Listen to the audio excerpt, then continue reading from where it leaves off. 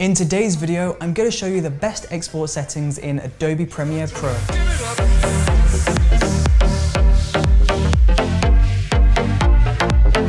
H.264, H.265, QuickTime, Apple ProRes, ProRes, MXF, DNX, WMV, MP4. Why is this so complicated? Why can't I just export, save my video, get it online and wait for people to see my YouTube video? Why is it so complicated to export in Adobe Premiere Pro? Well, in today's video, I'm gonna show you the number one export setting that you should be using to get your video from Premiere to YouTube. So we're gonna jump into Adobe Premiere Pro and this is your project. So this is our complete project in Adobe Premiere Pro and if we wanted to export this, all we need to do is go up to File on the top bar go down to export media. Now in this export settings tab, we have all of these different settings, but we're just going to start off with the format and I'm just going to adjust this to H.265. This is a format that I would recommend using, but I'm just going to go back into this format option and have a look at a few options. DNX HR is a TV approved video format, but it is way too high quality for YouTube.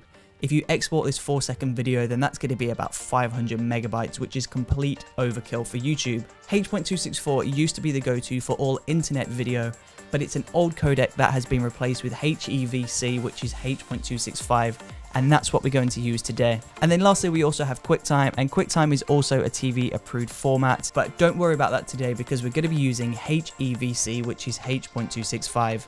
The reason why this format is really good for internet upload is because it keeps the video quality, but it compresses the file size, meaning you're not going to have a massive video to upload to the internet, but you're also going to have a really clear image. So once you've selected H.265, you can go and change your output name and your destination. You can change the width and the height of the video. This is your frame size, but if you're shooting in 1080, then I would seriously recommend keeping this to 1920 by 1080. You can change your frame rates, you can change your aspect ratio, I would select render at maximum depth and select use maximum render quality. And then here in the bitrate encoding, I would change this to CBR and I would pull the target bitrate up to the very top. And then in quality, I would suggest selecting highest. Now, if you see, if I pull down on this bar, that's the target bitrate bar, you'll see the estimated file size at the lowest is 268 kilobytes. Now, if I pull this all the way up to the very top, that's 20. The estimated file size is 10 megabits. So it's really important to note that if you have this bar pushed all the way to the left, your video quality will be minimum, but your file size will also be minimum.